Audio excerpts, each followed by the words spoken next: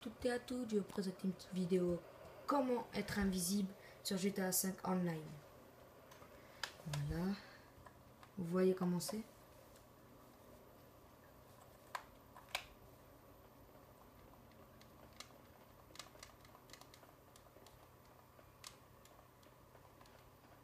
C'est ici.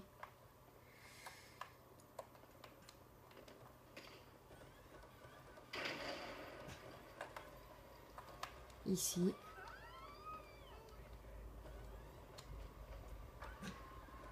Voilà.